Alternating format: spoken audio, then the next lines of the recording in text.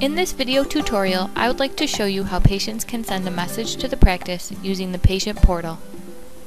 When a patient logs into the portal, they are brought directly to the Messages tab.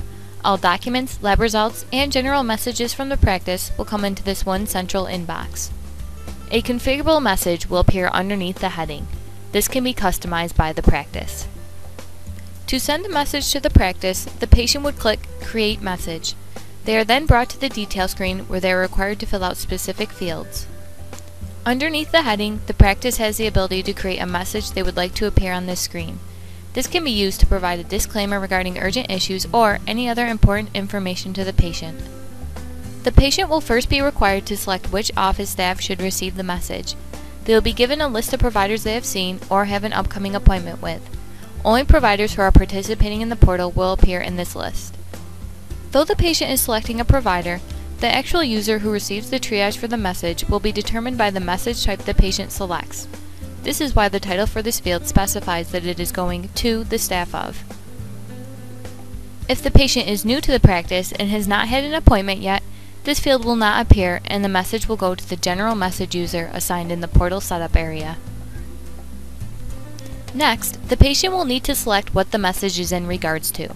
They will be given a list of active message types to choose from. The practice has the ability to turn off message types from appearing in this list. For example, if the practice did not want patients sending clinical questions to the office, they could make this message type inactive in the portal setup area. The patient will then free text the subject and body of their message. The subject line the patient enters here will be the subject line of the triage that comes into the practice. The body of the message will be an append in the triage with the date and time it was sent from the portal. Once the message is complete, the patient would click the Send button to submit it to the practice.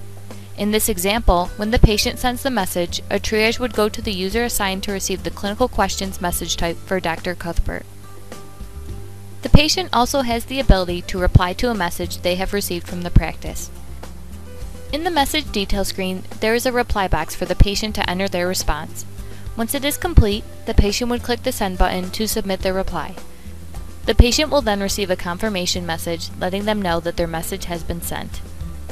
The patient's response will be appended in the original triage along with a log entry indicating it is a portal message from the patient.